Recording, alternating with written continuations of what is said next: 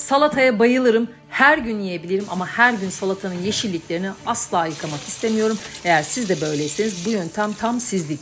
İlk olarak kullanmak istediğiniz bütün yeşillikleri iyice yıkayacaksınız. Reyhan, fesleğen, roka, nane ne istiyorsanız hepsini kullanabilirsiniz. Ben önce doğruyorum daha sonra suyunu çektiriyorum. O zaman çok daha güzel çekmiş oluyor. Bu noktadan sonra yapacağınız şey salatayı buzdolabı poşetlerine yiyeceğiniz kadar bölüştürmek, havasını iyice almak ve doğruca buzdolabına göndermek.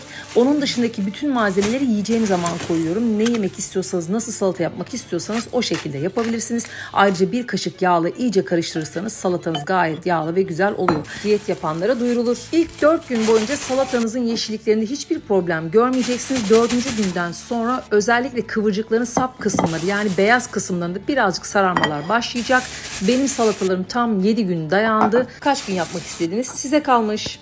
Hepinize afiyet olsun.